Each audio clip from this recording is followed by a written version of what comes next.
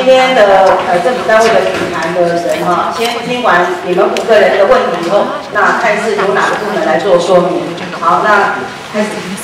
我想我请教一下那个，可以介绍一下自己的身份。哦，我是在宜兰中道的，我姓廖。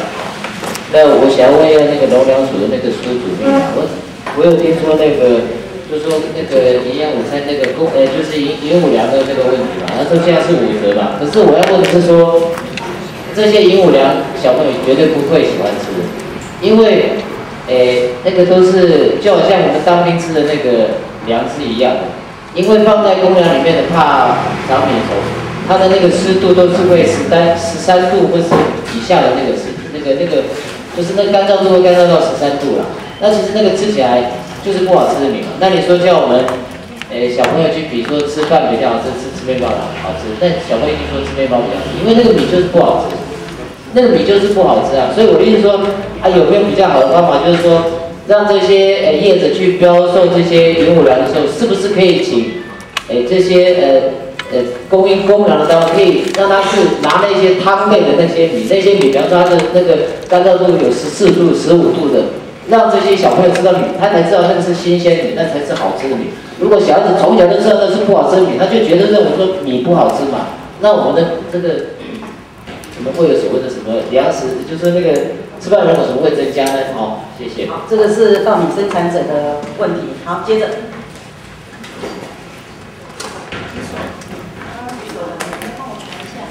这边的先发言。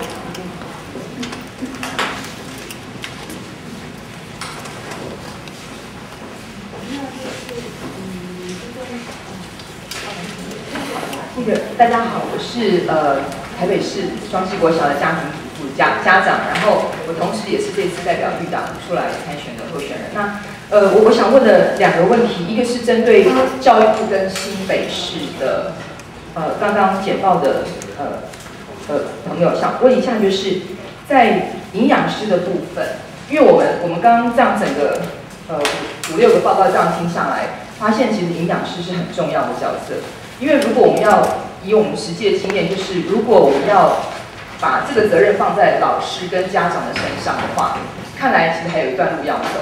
那最快能够进入呃这个系统里面去改变问题的是营养师。那我想知道，就是以目前呃教育部和新北市的资料，就是我们现在全台湾的各国中小学的营养师，是不是已经到该有的那个那个人数？然后第二个问题是那个农委会的部分，我想我其实我非常认同刚刚那位那位农友的说法，就是呃我要告诉大家一个真相，就是哦小朋友不爱吃营养午餐，呃不要怪他们，因为有的老师也不爱吃。如果你们去吃过，这个问题在于说它的这个蔬果跟米真的是不新鲜的。好，而且就是今天农粮署提供的是白米，那我想问的是胚芽米跟其他的五谷杂粮，农粮署有没有可能比照办？还有一点是，我们在讲到采购的问题哦。今天每次到了那个呃柳丁盛产季节、香蕉盛产的季节，我们今天就会呃学校就会收到公文说，鼓励各个营养午餐的厨房能够去去采购这些呃就是呃价格已经跌了跌下来的那些农产品。但实际上呢，其实我们的校园的营养午餐的，不管是公办也好，或是像那个台北市是那个团膳，那这些厂商他当他去，他必须要进到一般的市场去采购。我的疑问是，当我们家长，我们主动要求，我我们也是个小学校，好，我们主动要求说，没有关系，在塑化剂之后，我们发现呢，我们小孩也不会是一个两个，我们午餐多个五块十块有什么关系？我们宁可要求好的品质，而不是等到出问题之后，我再去花医疗费，然后去医院里面。那可是问题是，这跟法规有关，就是我们要家长要求涨价，涨五块十块，但实际上呢，学校不敢。那校长给我们的答复是什么？他说他怕被议员和立委抓去骂，就是说你图利厂商。好，那就变成说法如果不能修改，其实学校动不了，那只能每次做那种成果报告，就是比如除非变成校本特色。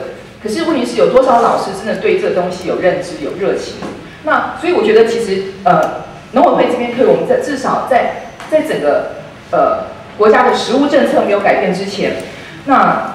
教育部跟新北市，呃，其实其实应该说整个整个台湾所有各中国中小学的营养师的部分，他们是第一线帮我们孩子们把关的部分。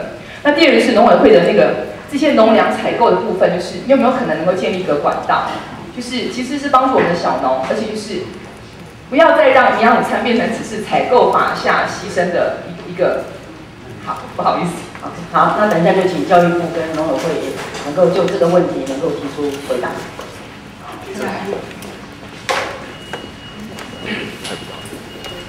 各位，那个本人有两个身份，第一个身份是两个孩子的爸爸，现在是台北市信义国小家长会的委员，监管营养午餐。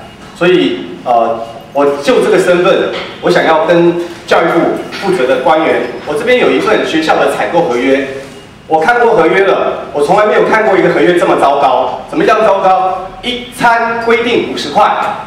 五十块里面，各位，我不只是看，我还要去集合。我每个礼拜四去吃小朋友的营养午餐。各位，我看到什么营营养午餐？今天的菜单，菜单上面写着五谷饭。各位，我吃到的是白饭。我问他，呃，请问五谷饭，呃，是怎么样呢？啊，这个比例有问题。那我今天看到的菜叫做，呃，虾虾仁白菜，我没看到几只虾。哦，我今天看到的是瓜子肉，我没有看到多少肉。各位，不是要监管吗？五十块。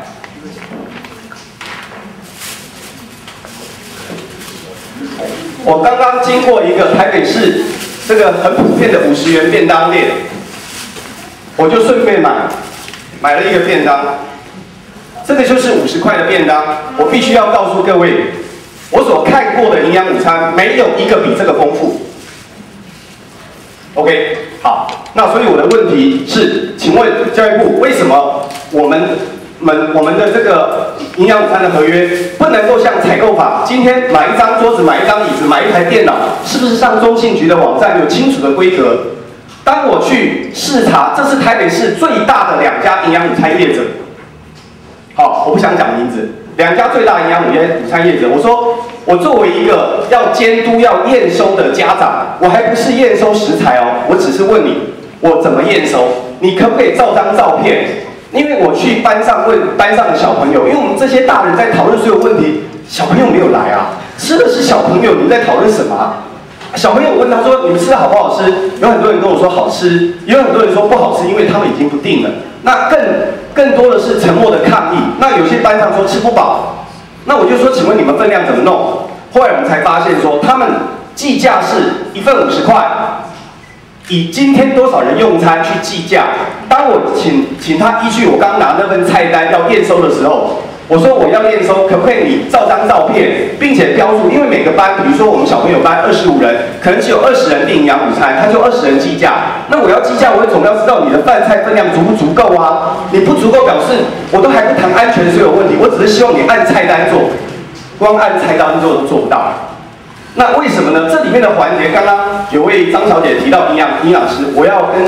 这个我你不必官员回答，我回答你。我我自己的我另外一个身份是原味便当的老板。我我们我们店里就有营养师啊，他也在学校做过营养午餐，在一些大的厂商，营养师在所有的营养午餐业者没有任何角色可以发挥功能，他只是挡箭牌。哦，所以我们的营养午餐只看到一个最重要的问题，只有安全，没有营养。OK，这个是我看到的，所以我要请问，就是说，我们如何让营养午餐的监管跟合约，我们去买一个房子，至少会写几平嘛，包不包含什么都，可是我们连菜单的内容，我们问业者，业者很好笑，隔天还跑到学校，你们找怎么找一个这么专业的家长来找我们麻烦？下学期我不去你们学校标了，哎，这就是我们的业者哎。那我们怎么期待它有什么结果呢？另外，对不起，我在一点点时间，就是说我呼应刚刚两位提到的公粮问题。呃，我们小朋友的教育，除了我们以前讲的五育均衡之外，食欲啊，吃东西这个教育也是很重要的。如果小朋友小时候吃的就是这种公粮，我曾经拿我店里的米 CNS 一等米，跟学校的这个米来弄，我说你是不是用公粮？因为公粮。口感不好吃，大家已经有讲过。你如果从小培养小朋友就是这样吃，那很糟糕。还有一个最大的弊端，因为台北市是团膳业者代买午餐，我就听过就是代买食材。那我就听说学校盖大印，他们就可以去申请公粮。哎，他的食材成本就降低了。可是他不会是因为他食材成本降低，说五十块变四十五块，不会的。那钱到哪里去了？对不起，这个请各位参考。监督的机制也请等一下呃相关单位能够回应。好，接着第四个。各位好，我是妇女团体代表哈。诶，刚刚农粮署这有提到，就是说正在发展中的节切的水果，现在只只有二十三家的处理。那我我不知道说这个有什么流程或者是规范哈，就是说他他送来的是这个节切的水水果蔬菜是有机的还是一般性的这个，然后用水洗的这个到手续啊哈。那或者是说这个处理完直接送到学校的这个自设自设厨房的这个营养午餐的这个学校，或者卖卖到这个超商或大卖场去。那如果说两天里面没有卖完，这些是不是要处理掉？因为那可能营养流失了，或者是说不新鲜的哈。那第二个就是说，你这个健康农业四神汤的汤头哈，就是吉元土，我但已经今年年底已经发展到。四万六千多公顷，我我到现在我知道这个很有名，但是不知道这是农委会的呃直属的公部门，或者是被呃就是委托单位哈，是委托单位。如果是委托单位我或者是呃公家机关的话，我们是如何去把关？哦，因为它这个呃越来越气做越大的话，那那我们这个就是说。对我们的健康影响会越大，我们不不了解清楚，可以回答一下，谢谢。那这个你请等一下也帮我们做回应哈。还有一个第五个是不是？哦，这边。我是营养师哈，呃，也在推广食疗，那也在替教育局做个计划，关于营养午餐。我先请教那个教育部的体育师，刚刚您提到的契约范本制定。有立法吗？还有跟行政命令有没有什么冲突？好，谢谢。好，那五个问题，我们先请农委会的回答，再请教育部回答，再请呃新北市的呃农业局回答，然后最后我们也请柯肖肖保官能够帮我们做今天的一些回应哈。来，主秘。第一位是宜兰。诶，廖先生嘛，哈，廖先生你也内行是重道的，哈。那我跟各位说明，哈，实际上，诶，学校营养午餐的米啊，容量都是经过农粮署检验合格。那你特别提到说公粮十三度，那我跟我跟你也讲，我们现在大概有很多供应的，哈，有很多公粮业者啊，实际上它直接就是用冷藏桶来储存，那冷藏桶储存啊。不需要纸张，就是这边，这里面高层跟你